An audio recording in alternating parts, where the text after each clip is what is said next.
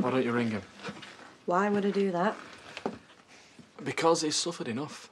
This isn't about the suffering. This is about me not knowing if I can trust him again, and I don't think that I can. Yeah, well, I just think you're making too much of it.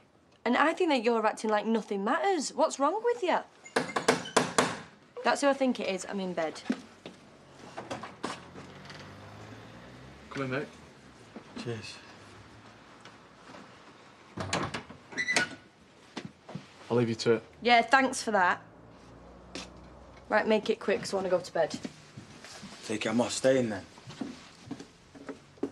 Look, I only found out about the gun when I saw it on the video, and that's the truth. I was gonna tell you, I swear I was. But look, I decided to ask Aaron about it first. And he convinced you to keep stum. He didn't shoot Robert. Well, he would say that, wouldn't he? Well, he's my best mate, okay, and I believe him. Adam, what kind of mate has an affair with your brother-in-law and the person that you're in business with and just doesn't bother to tell you? I'll tell you what kind of mate does that. One who's only out for himself and shouldn't be trusted. Yeah, well, I do, all right? Well, you're stupid. Come on, Vic. I want your stuff out of here tomorrow. And you better make sure that I'm not in.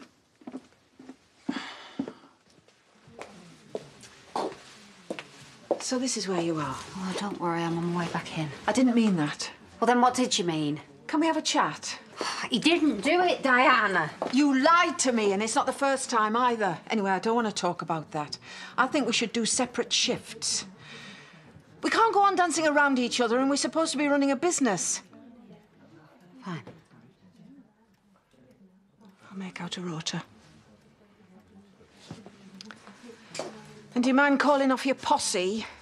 What? Cain and the rest of them, it's really not helping.